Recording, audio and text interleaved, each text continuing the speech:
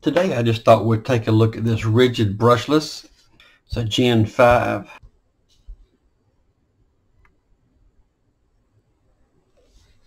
And this particular drill does nothing, not even the light. So definitely looks like a control board issue. Just thought it would be interesting on camera to take it apart and just see what we find today. It is going to be a Torx T10. None of them appear to have the security studs or just a regular 10 will work.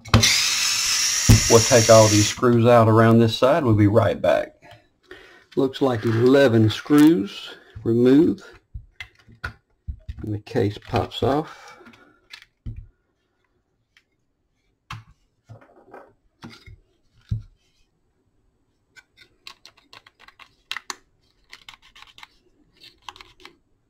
So this is a lot different than the older gens that I've worked on that had the brush motor, the bore being in here, sometimes being long this way.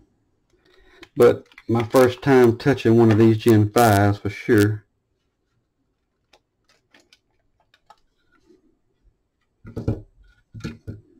Just going to go ahead and take everything out of the housing. See how that locks in. I think that's similar to the older version. Don't, don't want to drop that. Just take a little while to put it back together. I've had to do it. Motor feels good. It's got that the heavy rare earth magnet feel to the, the brushless motor there. Nothing obviously burnt on the board. That is a tiny control board and it looks like we're going to have our power components actually in front of the motor like C-face, I would say C-face housing here. Interesting. At this point, the motor doesn't work anyway, so it's probably worth taking another little further peek if there's anything we can do with it or not. And look at there. I've got to say I hadn't seen anything quite like this yet do see some type of like water line? Like maybe water came up to this point here? Look at those transistors around there. Should be six yep six of them so this is going to be a three-phase type winding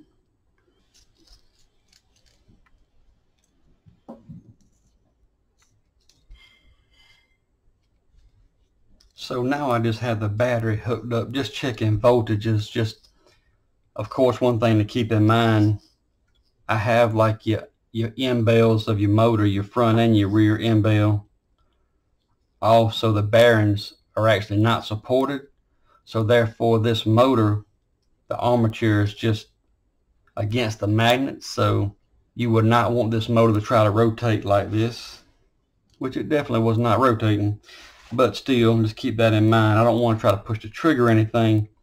But I do want to check my voltage across because if we notice our 18 or our 20 volt should be coming off the pack, coming straight to the board. We have a, um, it looks like a current feedback yeah, R001 resistor here. I'm just going to make sure we get voltage all the way through that.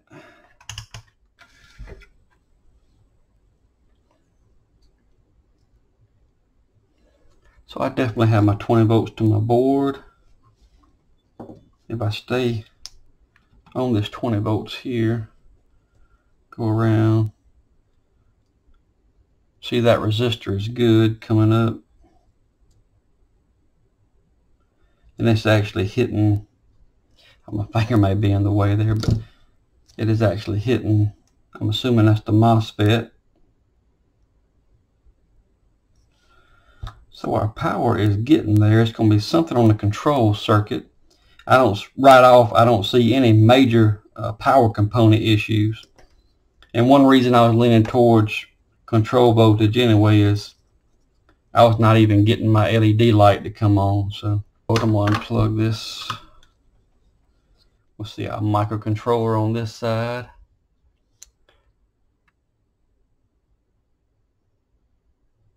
We see our ISP header here.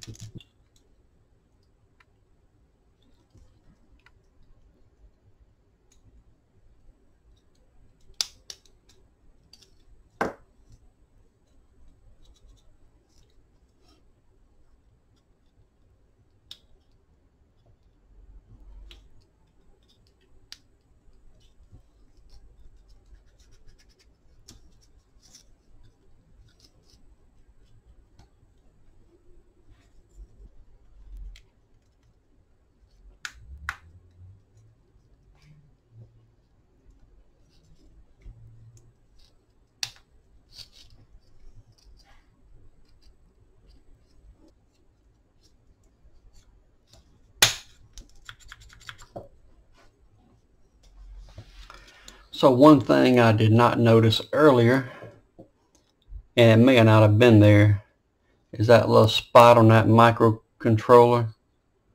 That looks like a hole that's come out almost right there where the zero would be. It's a Texas Instrument. It's a uh, 91680.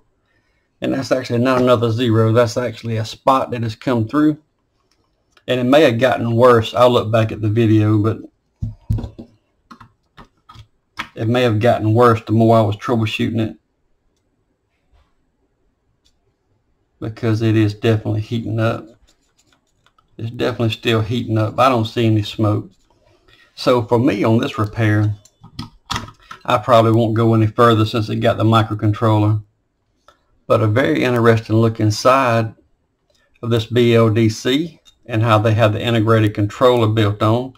Uh, very aggravating to work on but before the video ends, I do want to desolder it and actually take the motor loose.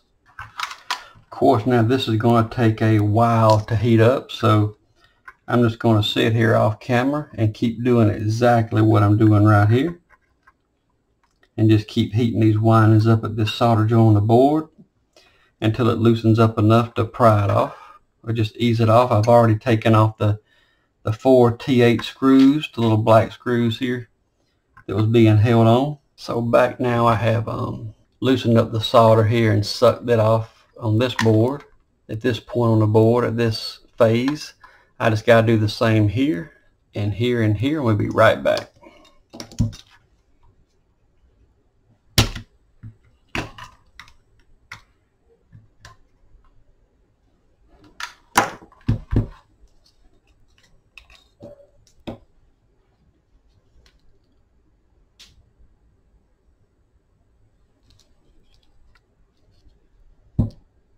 To give you a better view of what was on the back side of the board.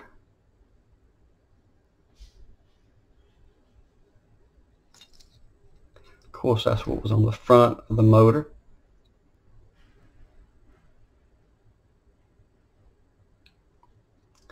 TTI. Get us again with their designs. And by the way, if you're used to three-phase motor or brushless motors, one thing I didn't see here until we unsoldered this is we have a U,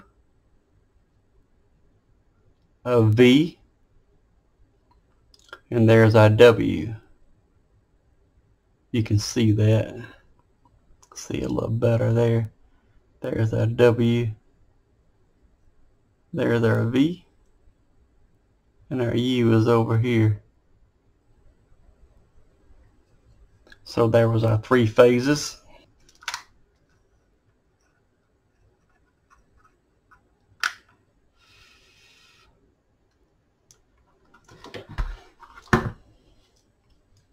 And all I've done here is just twisted my wires together coming off of my windings and connected some TFE or high current um, high temperature wire here.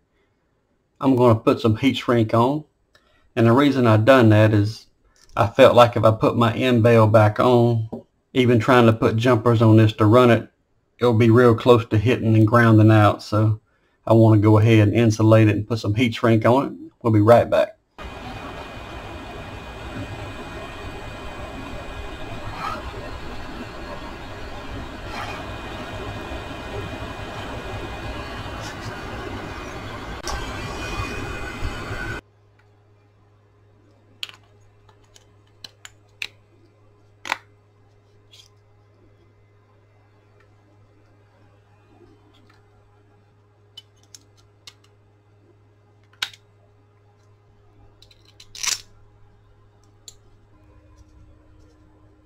Just as a side note here, I did make sure when I tighten these Torx bolts back up that I did so evenly and made sure they came to a stop just to make sure that there is no bind on the bearing, it's not cocked, skewed.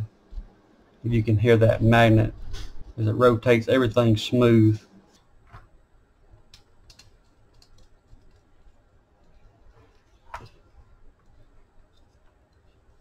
UVW. VCC and ground. So many of y'all that have probably seen my ego videos and know I, repaired a blower and I've used this same BLDC controller to run even the 56 volt stuff. And uh, this is the first time that I've ever had to use this to run just a regular 18 or 20 volt tool because they are also going brushless now. I just hadn't worked on many of them. So if I bring over my ground and my positive, I'm going to have my power supply on at 18 volts and full output at 5 amps. And I'm going to turn my potentiometer here clockwise and look at there smooth as silk. About 1 amp.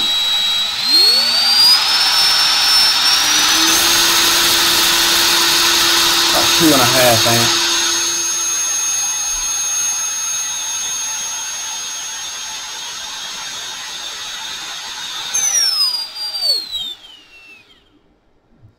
I definitely felt like nothing was wrong with the motor and looks like that hunch was right. Got it back together with the board out. Not saying that we couldn't have repaired the board, but once it got down to the microcontroller or microprocessor, chances are it's got its own special program and uh, beyond my abilities there. But uh, TTI that also makes a lot of the Ryobi stuff. Their 40 volt stuff's a lot like this too as far as, you know, the um, the batteries, the boards are just, without schematics, they're kind of hard to work on kind of overcomplicated for uh, for repair, and I just don't like throwaway stuff. So there's definitely a lot of value left in it, and um, the tool would have been good except for that controller. Not really worth the money to spend on the controller, but been nice to be able to buy a few components and fix it ourselves. But or have a separate speed control that been easy to buy and replace right like like the old version.